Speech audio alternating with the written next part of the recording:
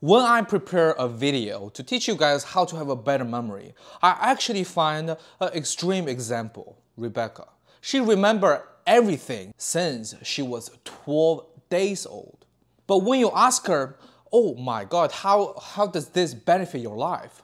She will tell you that it is way more a burden than a blast. So many people is making video just like me to teach you how can I build a system, remember everything I learn, everything I read. But before you jump into those tricks and hacks, I wish you can take a look of people who have the ultimate good memories. What happened to their life after these special abilities? Rebecca right now is 31 years old. She was born in Australia. Her first memory is when she was 12 days old. Her parents put her on a car. She is really curious about the steering wheel and the car seat. Her parents took a picture of her. Most people who are watching this video probably don't really remember uh, what happened your first year's old birthday. But Rebecca exactly remember. She was having a little photo shoot. But back then, she did not understand what Photoshop is. All she remember is there is a really strong flash in front of her and she was dressing a dress that was really uncomfortable. Her parents tried to comfort her with a stuffy toy, but the stuffy toy scared her again. All she wanted to do is cuddle with mothers. When she was younger, she constantly have a dream, and she cannot even figure out what is reality and what is, I mean, the dream. When she grew a little older, she is obsessed with Harry Potter. And because her special memory abilities, she can remember word by word what was written on the book. Even then, the whole series is 3 million words.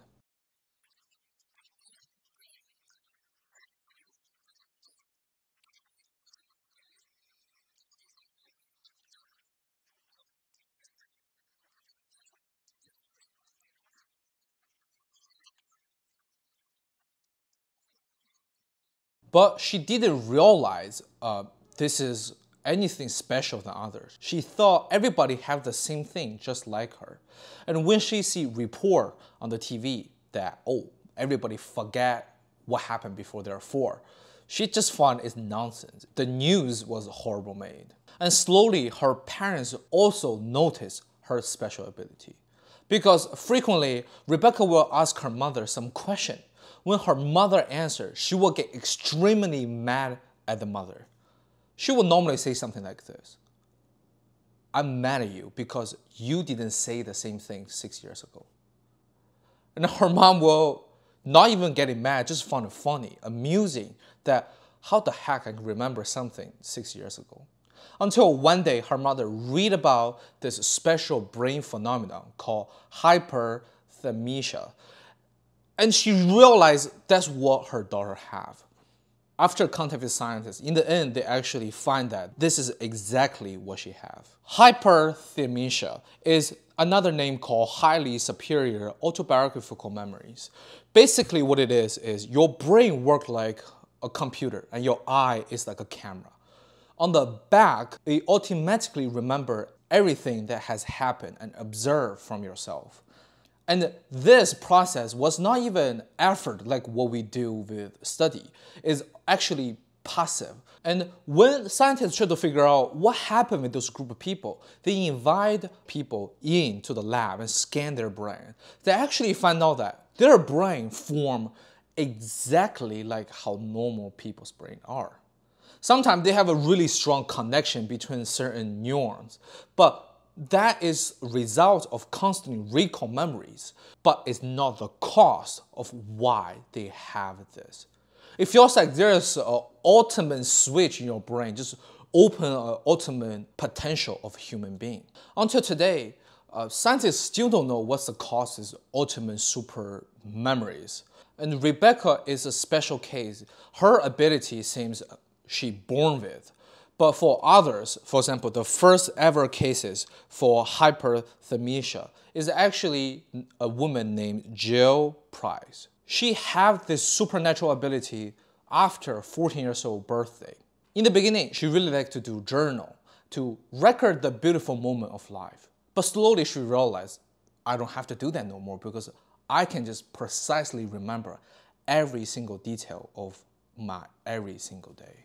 From Jill's personal story, you will see how much of burden to have that good of memory. She said that my brain every day feels like it's split into half. First half is keep replaying some past memory, and it is so vivid down to the detail, feels like I'm living there right now. Another half of my brain is constantly recording, record what just happened. Because our natural brain activity is extremely hard for her to actually focus on certain thing. When she have a presentation, all she can remember is, for example, in high school, some rebelling teenager telling her some mean thing and some bad comment from others. When she, in this important moment, she just repeat and repeat and repeat the same critical voice in her head. The worst part happened after her husband away. Because she don't have the defense mechanism like most people have. Forget about the painful memory. She keep recording the same sad memory with her husband. And it caused her uh, lose sleep and anxiety all the time. But that is not even the worst part the worst part of this supernatural ability is if you don't forget, it's extremely hard for you to learn. And all of them, you will imagine they're really good at study, they're really good at taking tests. But the truth are, all of them are terrible at learning. To figure out the relationship between uh, learning and forget, scientists done countless experiments and they have uh, some really shocking finding. First is when you sleep, your brain is actively almost like pushing a button to start erasing part of your memories. And this ability is not just existing within human, it's even shared with other animal, even down to a, a bug or a fly. And this ability is almost like a natural selection result. The animal have very good memories will die sooner or later. And our brain even developed these special chemicals. And their job is to erase your memories. The reason why we're not seeing people going to some doctor office to take that chemical out and have ultimate memories is because forgetting is so important for our life. If you cannot forget, you will cause a problem called overfitted. What does it mean? Imagine you survive in the wild in, in 10,000 years ago. Today, you saw a tiger running to you and bit you on the leg. So you start have super good memory, remember how the tiger looked like, the stripe, the color, the size, the paw. Two months later, when you finally recover, you saw a leopard running from the woods start coming at you, try to bite you. You pull out the memory that you have about tiger and to see, hmm, this is not the same thing. So I bet this won't hurt me. You will get bitten and eaten. This is exactly what it means called overfitted. Is you have so many details that you start losing the focus. I understand that lots of people want to have a super ultimate memory because when they study, they have this problem that they always don't have the knowledge when they most need it. For their answer is obvious. If I train my memory become better and better, I will do better and better.